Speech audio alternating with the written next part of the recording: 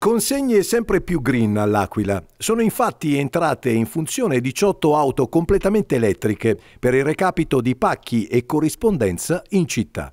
Si tratta dei primi veicoli di questa tipologia a disposizione dei portalettere del centro di distribuzione di Centicolella, dove sono state installate anche 34 colonnine elettriche con una potenza di 7,4 kW per la ricarica dei mezzi. Nelle prossime settimane è prevista la consegna di altri 16 veicoli elettrici. Quale potrebbe essere il vantaggio immediato? Il vantaggio immediato è quello legato prettamente proprio al green perché noi con questa, con questa, nuova fornitura che adesso è momentanea perché noi andremo su 34 mezzi, adesso siamo su 18 mezzi, pensiamo già al momento di risparmiare su 3.000 km che giornalmente produciamo il 30%. Ovviamente c'è anche un grande risparmio per quanto riguarda il carburante. Certo che sì, queste sono, sono, macchine full electric che sulle colonie nostre si caricano in 12 minuti per 100 km e che chiaramente ci garantiscono proprio di avere impatto zero, quindi con un risparmio di circa 300, 300 tonnellate mi sembra di, di, in, in, termini di emissioni